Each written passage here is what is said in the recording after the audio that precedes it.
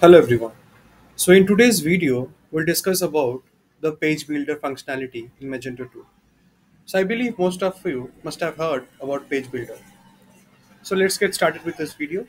And in this video, we'll try to create a block or we can say content, static content in the product details page using a widget. So let's get started with the video. So in the admin, first of all, you have to go to the stores in the configuration. We have to go to this general tab and we have to scroll down to the content management menu. So over here we have an option called the advanced content tools.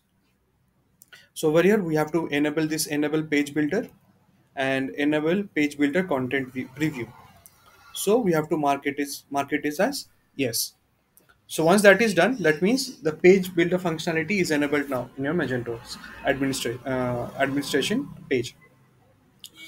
Now what we can do we have to create a block first. So what i can do i have to go to this content and uh, let me create blocks.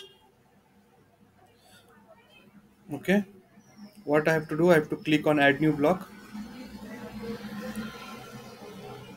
Over here let's say uh, i want to give the block title over here. So what i can do uh, i can give a title let's say uh, new sorry new collection new collection slider. So over here also new collection slider. So you can give whatever name you prefer so since i'll be installing one slider in the product details page so i given this name and the identifier. Now if i scroll down the store view we can select the store view. Now if i scroll down now if you see that is a page builder uh, tab is here. So that means page builder is nothing but a drag and drop feature where you can add number of contents in a particular uh, section using a drag drag and drop. So which is very much easy to use okay so what we can do we have to click on this edit with page builder. Now this page will open up. Now what we can do over here in the left hand side so we have these layouts that is a row column tabs and so what it will do it will insert a new row. Column will insert a new column tabs will insert a new tab. Elements if i click it will show us this text heading buttons divider html code. Media if i select i can insert image video banner slider map and let's see what is there in the content content we can have new blocks and the products over here. Fine? And at the top we have this desktop view and we can also see the mobile view. If you want to see the mobile view you can also change this particular view as well. Apply template and save as template. So whatever content we are saving it here so we can also save it as a template so that it can act as a template for other widgets or other blocks. And uh, over here uh, once we have an existing template we can also use this particular apply template as well. So if i click on apply template since i don't have any other templates it's completely empty. So once so once i have some templates over here i can select the templates from here. So let us go to this particular um, desktop view and let's add something. So what we can do over here i can use a row. Since it's it will it is going to be a row uh, format. So this is the row that i have given over here and let's see what else we have over here inside this particular settings. So here i think it is height and duplicate and delete. I can also drag and drop uh, this particular change the position of this particular row since it's uh, having a single row. And if i click on this particular settings it says appearance content full width full bleed minimum height vertical alignment background color background type background image mobile image background size position attachment advanced border length and we can also have these margins and paddings over here. So currently it is all in default mode. Now i'm not going to do any sort of changes in the settings so let it be as it is. So what i can do over here uh, over here if i go down there's a section called products. Let's see what we have over here. So if i drag and drop here in this particular element let's see i'll just repeat it again so what i did i just uh, clicked on this particular section called app products and dragged it over here in this particular uh, section. The moment I drag it over here, now I'm what I can see. I can see one row is there. This is the row. These are the product section. So inside the row, there is a product section. So what I can do, I have to go to this particular edit option. How I want this particular slider. I want a slider or I want it as a grid. So let me choose a carousel. Now select products by category, SKU, condition. So we can choose any of these things over here. So let me just select one category. If I go to this category, uh, let's say I can select these new products. So what it is doing, it is selecting the products from this particular new products category. So number of products to display is 20. Carousel is default or continuous. Autoplay is off. So I can change whatever I feel like. Show arrows, yes.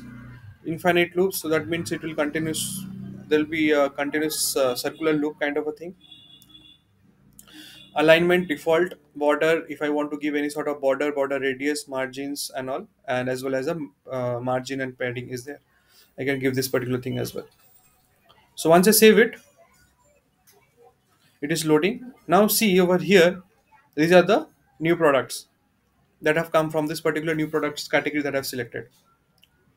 Fine. This is the desktop view. If I want to see the mobile view, this is the mobile view. Okay.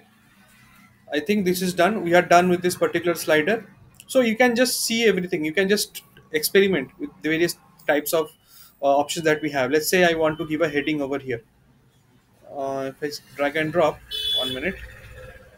Okay, now here I can edit the heading text, or you can give new products. Sorry, uh, new products collection. Whatever you can feel, you can give it over here. I can change the position. So let's say new product collection. Yes. Now you can see the preview over here. Once that is done, so my page, so whatever content I have to make with page builder, that is done. So you can experiment with your own content. It is super easy. So I have saved the block. Fine. Now what I can do, the block has been created. Now I have to create the widgets. Now in the widget, I have to click on add widget, type what type of uh, block it is. So it was a static block. Design Magento Luma. Click on continue. Widget title, uh, new products collection, all store views. Now here I want to add it for the details page. Display on where? Display on uh, over here I can select the generic pages, the products or the categories. So if I want to select a specific page because I want to view the particular slider in the product details page only.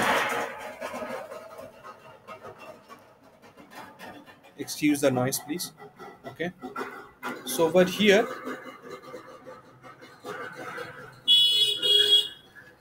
so what I can do over here catalog product view any. I have to select this because I have I can see that particular slider in the product details page. Container where I want to see the container uh, main content bottom. So this is the container. So you can play around with these options over here. So I've selected these two options and widget option. I have not selected the block. Let us select the block so this is the new collection slider this is the block that I've selected. Once that is done just click on save and continue. So the widget instance has been saved. So our block has been created our widget has been created. So when that is done just flush the cache.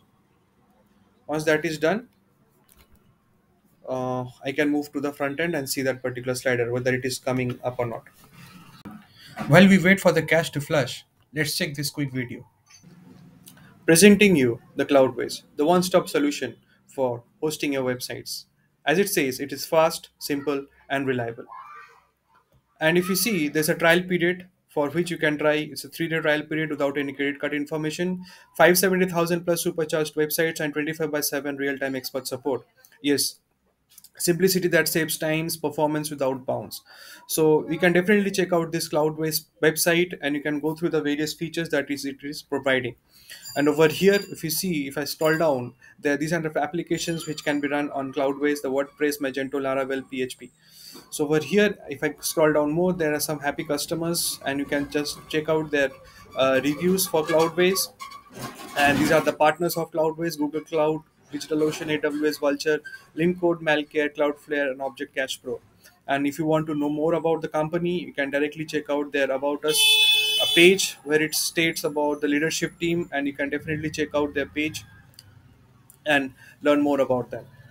Now what i can do i can quickly go to the login and start showing you how you can manage your websites.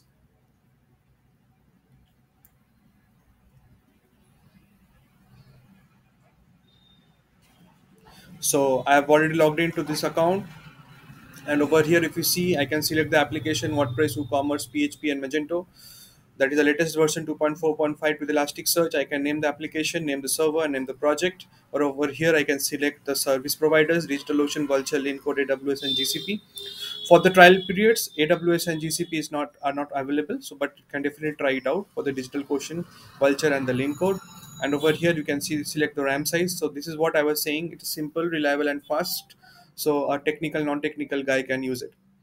Oh, and then over here i can select the locations bangalore toronto frankfurt amsterdam new york singapore san francisco and london.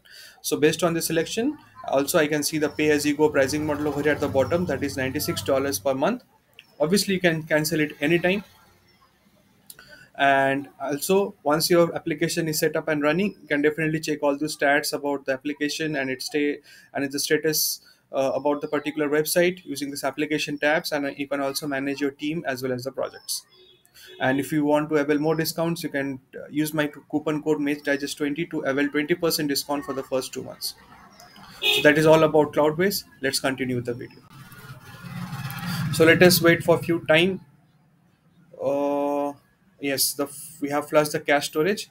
So let us move to the front end. This is my website if i see go to this luma go to any product let's say dresses uh, select any one particular product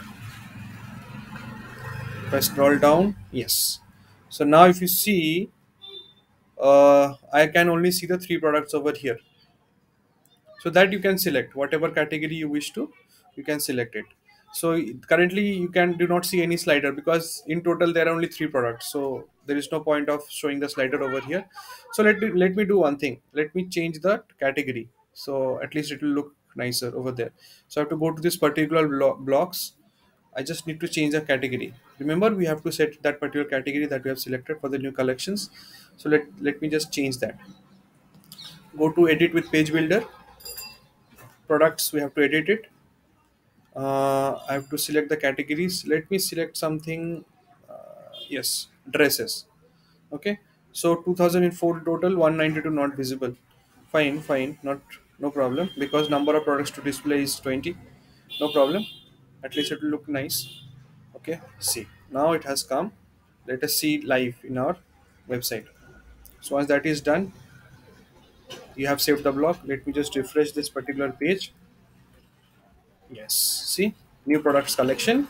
This is how the there there you can see the slider. If you click on this you will see the slider. So you can just move around using this arrow. So i think this is how we can play around with the page builder feature which is a super important feature in magento's admin where it's a drag and drop feature and it's very much important. And anyone can use it and build their own content for the front end wherever they want to so i think that's all in today's video. If you like it just like the video and share it with your friends whoever are using this particular platform.